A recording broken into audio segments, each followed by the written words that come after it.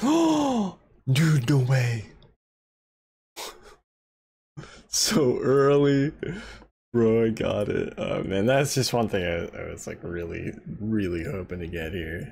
Alright, RuneScapers, what's up? It has been a while. Uh, my hardcore's been through a lot recently.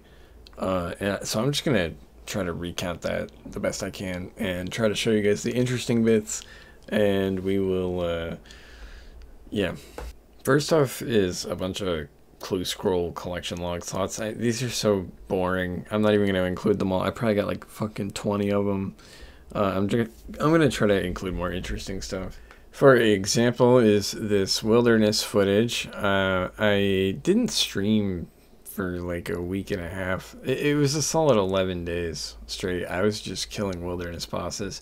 I was really nervous at the start. You can see I'm just hovering over my teleport there for a bit.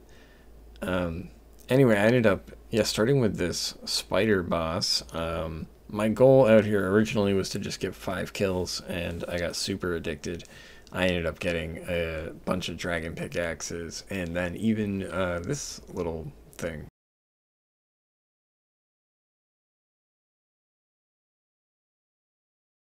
Oh, no way. No fucking way. There's just no way. The Voidwaker gem is one of three pieces to the Voidwaker, which is a sword. It has one of the best special attacks in the game, which pretty much guarantees a high hit every time. The Voidwaker pieces have a drop rate of 1 in 912, so it was pretty lucky to get it this early. Uh, and since this piece was done, I decided to move on to the other wilderness bosses. I just randomly picked Calvar'ion and started grinding him just as hard. I was doing like 200 kills a day. And this is all I got out of it. Hmm. Skull of Vet'ion! It's a clog slot. Let's go. It upgrades the rev weapon. Yeah, I just I got something. Fuck it.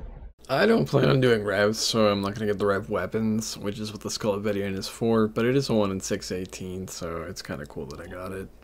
I decided to do one more day at Calvar'ion, and I didn't end up getting anything, like I said, so I moved on to Artio for a little bit. Artio is definitely the hardest of the three bosses. You have to freeze him, and then he's got this phase where he's laying all these traps around, and he has a special attack that can do 50 damage if you don't dodge it. Uh, it it's just a lot, all the while you're trying to watch out for PKers. Uh, so Artio is definitely pretty scary. I ended up doing the most of this boss. I think I got over 600 kills. I'm like top 10 on the leaderboards right now. Uh, and I, I didn't get a ton out of it. I actually got a dragon pickaxe, a dragon two-hander.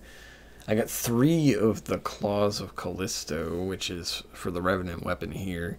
Uh, that that's we won't talk about that. What the fuck? I don't want these. I did have a couple of scares where I disconnected. I think this happened twice. Where yeah, you see here. Eventually, yes, yeah, I noticed my character's not attacking so I've definitely disconnected. I'm trying to teleport. It's not working. Hits this 50. And then finally my crystal procs. That could have been so bad. Uh, yeah, crystal. Great update. And finally, this was the last drop that I got at Artio. Ooh! Yes! I wanted this. This is really good. Hey! That's great. Not even mad. The Tyrannical Ring can be imbued to give plus 8 crush bonus, which is really useful for Corporeal Beast. Uh, it's a boss that I do a lot of, so this will make when I'm doing my Warhammer specs a lot more accurate. Yeah, eventually I logged in for my last Wildy boss kill. Uh, if you keep up with my videos, you know that I got banned.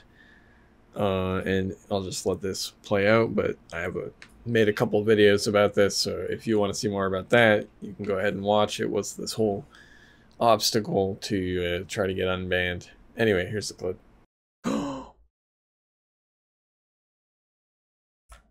what? I should be okay. The crystal should save me. Uh, after two days, the ban was taken away, and I was in Falador, meaning my escape crystal did save me. Uh, so that's nice. I'm still hardcore, uh, but I haven't done any wilderness bosses since this. Um, since then, I've pretty much been grinding a lot of Corrupted Gauntlet. Uh, since it's not Wildy content, I have been streaming this.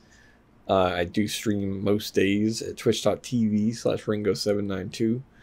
Um, I also have been doing a good amount of Corporeal Beast and some TOA, uh, but right now we're really focused on the Gauntlet. I'm, I have full crystal armor, so I just need that enhanced to make the Bofa, and then TOA is going to get a lot easier. I can do higher invocations and we're gonna go places. Anyway, yeah, the hardcore has been through a lot recently, a lot, but uh, we still in it. Yeah, it's good shit.